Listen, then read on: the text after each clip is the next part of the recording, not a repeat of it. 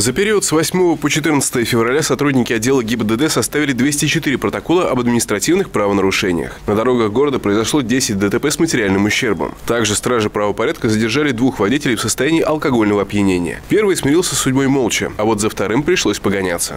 Водитель автомашины «Лада Веста» не остановился на требовании сотрудника полиции.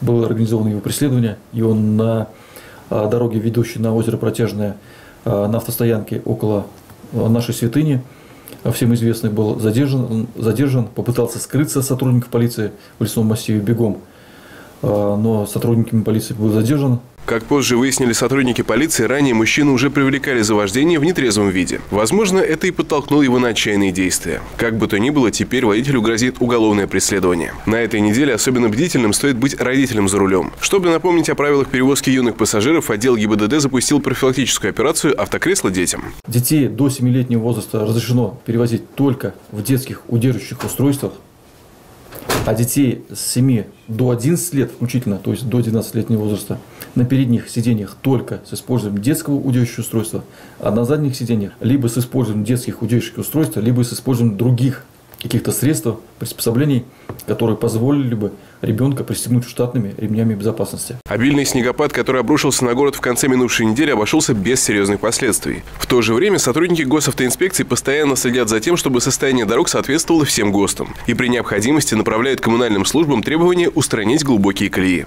Константин Перевозчиков, Артемий Глазков, Сергей Рябов. Служба новостей Саров 24.